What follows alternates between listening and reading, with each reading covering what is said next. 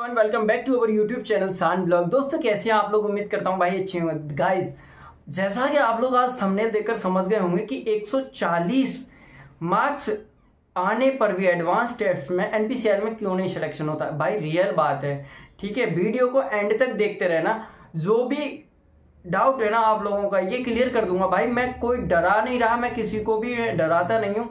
ठीक है? जो एक रियल फैक्ट है, मैं सिर्फ़ वही चीज़ बताता हूँ, क्योंकि बहुत सारे लोग जो टॉपर्स होते हैं, वो तक गलती कर देते हैं ना?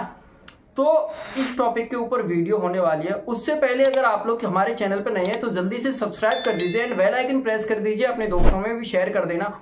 और गाइज़ आज का जो जो लोग एनपीसीआर की तैयारी करना चाहते हैं, वो लोग मेरे पेड मेंबर्स बन सकते हैं, ठीक है? पेड ग्रुप ज्वाइन कर सकते हैं इंस्टाग्राम या टेलीग्राम पर मैसेज करके। हमेशा के लिए मुझसे जुड़ सकते हैं। सारी इंफॉर्मेशन मिलेंगी आपको। पूरा कोर्स मिल जाएगा, ठीक है? आपको लाइफ में कोई भी कोर्स कोई भी बैच लेने की ज़रूरत नहीं पड़ेगी भाई। जिसकी मर्ज़ी वो जुड़िए, जिसकी नहीं है। ऑलरेडी 1200 प्लस कैंडिडेट्स उसमें ज्वाइन हो चुके हैं, ठीक है? तो चलिए चलते हैं कि भाई, ऐसा क्या है कि एनपीसीआईएल में एडवांस टेस्ट में 140 145 नंबर आने के बाद भी सिलेक्शन क्यों नहीं होता है? तो उसका एक रीज़न है। देखो, एक आपने वीडियो देखी होगी जो कि मैंने असिस्टेंट ग्रेड वन की एक मानवेंद्र भैया की मैंने बनाई थी थंबनेल लगा दे रहा हूँ मैं, ठीक है? उनकी मैंने ये बनाई थी। तो आप लोगों ने देखा होगा कि उनके 134 नंबर थे डेढ़ सौ में से, लेकिन कट ऑफ़ कितने पे गई थी? 126 पे। लेकिन उनका फिर भी नहीं सिलेक्शन हुआ था। आखिर क्यों? ऐसा क्यों होता है? जो लोग आईटीआई वाले हैं, अब मैं आईटीआई से लेकर चलता हूँ। आईटीआई वाले प्लांट ऑपरेटर या असिस्टेंट ग्रेड वन। आप लोग स्टेज वन में क्या करते हैं कि हमको तो भैया लेकर आने हैं कितने? सिर्फ़ 40 परसेंट और 30 परसेंट मार्क्स मतलब डेढ़ सौ के 40 परसेंट और 30 परसेंट। तो कितना होता है? मतलब जनरल वालों को 60 नंबर लेकर आने और S C F T OBC और ईडब्ल्यू एस को 30 परसेंट मार्क्स लेना है। मतलब डेढ़ सौ में से 45 नंबर लेकर आने, हम स्टेज टू में पहुँच जाएँगे, ठीक है? अब यहाँ पर क्या गलती करते हो आप लोग? आप स्टेज टू में तो पहुँच जाएँगे, आपकी कॉपी तो चेक हो जाएगी, ठीक है? बहुत सारे लोग स्टेज वन पर फोकस नहीं करते। क्यों? क्योंकि आप लोगों को पता है कि स्टेज सेकंड में जब जाएँगे तो उसी से मेरिट बनेगी, उसी से आपका सिलेक्शन होगा। लेकिन कहीं ना कहीं जो आप स्टेज वन की गलती कर रहे हो ना, बहुत बड़ी गलती कर रहे हो। उससे पहले पहले वीडियो को लाइक कर दो, ताकि ऐसी इंफॉर्मेशन आपको पूरे यूट्यूब पर कोई नहीं बताएगा, ठीक है? मैं बता रहा हूँ, क्योंकि मैंने ये चीज़ अपनाई है भाई। सिलेक्शंस मैंने भी लिए हैं, ठीक है? और मैं सिर्फ़ एनपीसीआईएल की नहीं, मैं ऑल एग्ज़ाम्स की, जो भी गवर्नमेंट एग्ज़ाम्स होते हैं, सभी के बारे में बताऊँगा कि कैसे कैसे सिलेक्शंस होते हैं इनमें, है ना? तो क्या होता है, जैसे स्टेज वन में आप लोग पहुँच गए। मतलब आपने स्टेज वन क्वालिफाई कर लिया, मान लीजिए आपके नंबर आ गए साठ। ओबीसी से हो, आपके 45 लाने थे 60 आ गए आप हो गए पास स्टेज टू में चले गए। अब आपके वहाँ पर आ रहे हैं। भाई, ये सभी के लिए, ठीक है, चाहे साइंटिफिक असिस्टेंट हो, चाहे कोई भी हो, ठीक है मतलब एनपीसीआर का बता रहा हूँ आप चले गए स्टेज टू में। अब वहाँ पर क्या हो रहा है? आपके मान लीजिए, देखो, पाँच से छह हज़ार मतलब सॉरी पाँच से छह हज़ार एक ट्रेड में कैंडिडेट्स बैठते हैं, जिसमें कि आप लोग अंदाज़ा लगा सकते हैं कि ज़रूरी नहीं है कि आपके ही सेम मार्क्स आए। जब सेम मार्क्स आते हैं, जैसे मेरे सेम मार्क्स मतलब मेरे आ गए 140 ठीक है? और कुछ क्वेश्चंस नेगेटिव में कट गए, कुछ टोटल मार्क्स आ गए एडवांस में 140 अब मेरे जो दोस्त है या कोई भी बराबर में बैठा है, उसके भी 140 आ गए। तो अब दोनों के मार्क्स हो गए सेम दोनों के मार्क्स हो गए सेम अब एनपीसीआई वाले कैसे प्रूव करेंगे कि हमको सीट किसको देनी है? हमको सीट किसको देनी है? ये एक रियल फैक्ट है भाई। यहाँ पर हो जाएगा दोनों का टाई जो कहते हैं ना टाई हो जाएगा। अब दोनों के सेम मार्क्स हैं। अब एनपीसीएल वाले कैसे डिसाइड करेंगे? अब मैं बताता हूँ अब यहाँ से होता है प्रोसेस स्टार्ट ठीक है, उनके फॉर्मूले का। वो लोग क्या करते हैं? इफ्टेज वन में जाएँगे। स्टेज वन में जाएँगे कि किसके मार्क्स ज़्यादा थे। मतलब जो लोग सेम हैं, अब वो उन लोगों के चेक किए जाएँगे स्टेज वन में, किसके मार्क्स ज़्यादा थे, जिसके मार्क्स ज़्यादा होंगे, उसको पहले 140 वाले को सिलेक्शन दिया जाएगा एनपीसीआई में। ठीक है? ये हो गया step one step two step two क्या होता है? अगर आपके स्टेज वन में भी सेम है और स्टेज टू में भी सेम है, तब क्या होगा? तब होगा कि स्टेज टू में किसने कम नेगेटिव मार्किंग की थी। किसने कम नेगेटिव मार्किंग की थी? मतलब आपके वहाँ पर भी सेम है, यहाँ पर भी सेम है। अब देखेंगे वो लोग कि किसने कम नेगेटिव मार्किंग की थी। ठीक है तो एक सेकंड पॉइंट ये हो गया। मतलब दो पॉइंट हो गए आपके। अब थर्ड पॉइंट क्या होता है? भाई ये चीज़ आपको कोई भी नहीं बताएगा। और वीडियो अगर अच्छी लग रही हो तो जल्दी से लाइक कर दीजिए। ऐसे ही होते हैं भाई सब सिलेक्शन क्योंकि ज़रूरी नहीं है जब लाखों स्टूडेंट्स मान लीजिए, मैं एन की बात नहीं कर रहा, रेलवे वगैरह की तो भाई लाखों स्टूडेंट्स के सेम मार्क्स आते हैं, तब ऐसे ही सिलेक्शन होते हैं, ठीक है?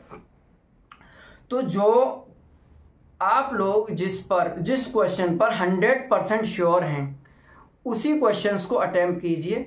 उसी पे टिक कीजिए। नेगेटिव बिल्कुल नहीं कर रहा है। आपको लग रहा है कि फिफ्टी फिफ्टी है। तो भाई उस फिफ्टी को छोड़ दीजिए, वरना वो आपका जो फिफ्टी है, वो और मार्क्स लेकर चला जाएगा नेगेटिव में, ठीक है?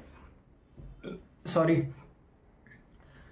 तो यहाँ पर क्या होता है? जैसे आईटीआई वाले बंदे हैं, वो स्टेज वन पे फोकस नहीं करते स्टेज टू पे करते। स्टेज वन में फेल हो जाते हैं बहुत सारे लोग। मेरे पास भी हैं कैंडिडेट आईटीआई वाले, जो लोग सिर्फ़ स्टेज वन की तैयारी के लिए आए। तो स्टेज वन में आपको स्कोर उतना करना है जितना आपसे हो रहा है। ऐसा नहीं है कि भाई, मेरे को तो बस क्वालिफाई करना है। भाई क्वालिफाई तो करना है, लेकिन स्टेज टू में फिर लटक जाओगे आप सेम मार्क्स आने पर। ठीक है? तो आप स्टेज वन की भी तैयारी कीजिए, अच्छे से जितना आपसे हो रहा है। उसके बाद में स्टेज टू में तो जाएँगे, अगर वहाँ सेम मार्क्स होते तो ये। देखो, मैंने दो पॉइंट बता दिए। अब थर्ड पॉइंट पे चलते हैं। थर्ड पॉइंट क्या है? थर्ड पॉइंट अदर एग्ज़ाम्स में और एनपीसीआई में क्या होता है? कि सेम, किसी में सीबीटी वन होता है मतलब ओनली एक पेपर होता है, उसमें क्या होता है? आपकी देखी जाती है क्वालिफिकेशन कि हाईएस्ट क्वालिफिकेशन किसकी है?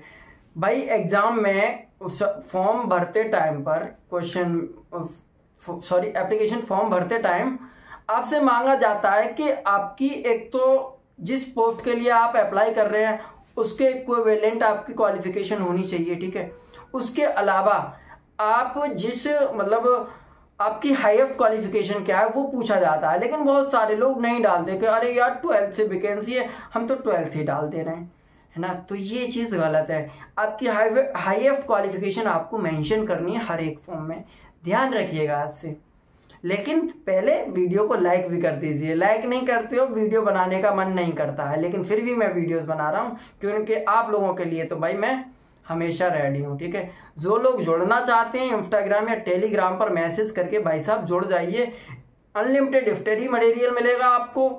बैचेज मिल जाएँगे और बहुत सारी चीज़ें मिल जाएँगी। आपको ढाई सौ रुपये में मैं आठ से दस हज़ार रुपये का लाइफ टाइम के लिए दे रहा हूँ। भाई लाइफ टाइम क्या? आप लोग दो, तीन साल, चार साल ही मेहनत करोगे। पॉइंट पर आते हैं। अब क्या होता है हाईएस्ट क्वालिफिकेशन देखी जाती है, जिसकी हाईएस्ट क्वालिफिकेशन होती है वैकेंसी उसको मिलती है ना पोस्ट उसको मिलती है। सेकंड चीज़ आती है कि डेट ऑफ़ बर्थ देखी जाती है बहुत सारे लोगों की। मतलब कौन बड़ा है, कौन बड़ा है? मतलब जैसे मान लीजिए मैं चौबीस साल का हूँ, है ना? कोई है मुझसे तेईस साल का या बीस साल का, है ना? तो अगर सेम सेम चीज़ें हो रही हैं अब मैं चौबीस साल का हूँ तो क्वालिफिकेशन मेरी ज़्यादा है, ठीक है? तो वो लोग प्रायोरिटी मुझे देंगे, ठीक है? कि ये बंदा थोड़ा एजुकेशन में ज़्यादा है। ऐसा होता है भाई जनरली एग्ज़ाम्स में बता रहा हूँ, मैंने बहुत जगह मैंने डॉक्यूमेंट वेरिफिकेशन कराया गवर्नमेंट में भी और प्राइवेट में भी, ठीक है? तब जाके मैं ये एक्सपीरियंस शेयर कर रहा हूँ आप लोगों से। तो ये होता है कि आप लोग स्टेज वन में मेहनत कीजिए भाई साहब। स्टेज टू तो देना ही देना, उससे कट ऑफ़ आपकी बनेगी। एक सौ छियालीस भी मार्क्स आते हैं कैंडिडेट्स के 148 भी आते हैं जो लोग नाइन, फोर्टी नाइन तक अटेम्प्ट किए हैं, पचास में से 49 एक एक अटेम्प्ट नहीं किया। 142 बयालीस मार्क्स आए हैं प्लांट ऑपरेटर में, जो 2022 की बात कर रहा हूँ, ठीक है? तो ये इंफॉर्मेशन एक रियल इंफॉर्मेशन है आपको इफ्टेज वन में भी मेहनत करनी है इफ्टेज टू में भी। आप लोगों का सिलेक्शन इसलिए रुक जाता है बहुत सारे लोगों का कि सेम मार्क्स आने पर आप लोग पहले वाले को इग्नोर कर देते हैं कि भाई मुझे तो खाली पहले में पास होना है। तो ऐसी गलती कभी मत करना गाइज़ ठीक है? और वीडियो कैसी लगी हो तो मुझे ज़रूर बताइएगा। और कल वीडियो आएगी N P C assistant grade one salary slip और पार्क्स मतलब उसके अलाउंसेस वगैरह क्या होते हैं जॉब प्रोफ़ाइल के बारे में कैसे क्या होता है, सारा कुछ आएगा। ठीक है? और ये वीडियो सभी के लिए थी N P C L plant operator हो असिस्टेंट ग्रेड वन हो या कोई भी हो, सभी के लिए थी। Okay thank you so much